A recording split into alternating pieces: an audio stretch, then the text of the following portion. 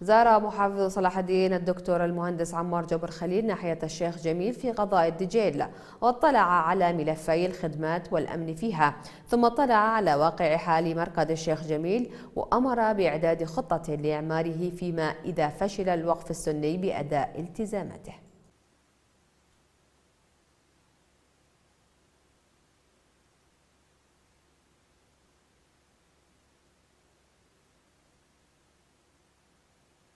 استصنع الوقت السني يتابع الموضوع معهم. المشكلة يبلغني حتى يكونون التنميه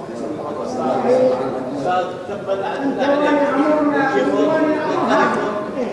ما قد يخرج العراق كل تبيت ما تفضل من يقدر يخلي زوجيه موظف بس أنا موظف بالمركز دائرة حكومية موظف واحد وقت السني بس أنا موظف.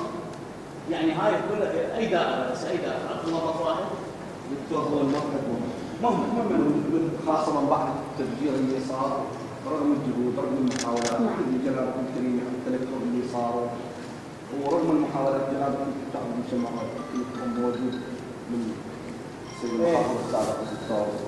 وراح راح ما أقول لا إحنا بس إحنا نتأمل إحنا والله. إحنا هم مسؤوليتنا نعم. نعم عندما هم يتخلون عن مسيرتهم إحنا نكون بس إحنا ال- ال- ال- الكرة بملعبهم سووا شيء خلال هذا الأسبوع سووا. ما سووا إحنا الله. يجزاك الله.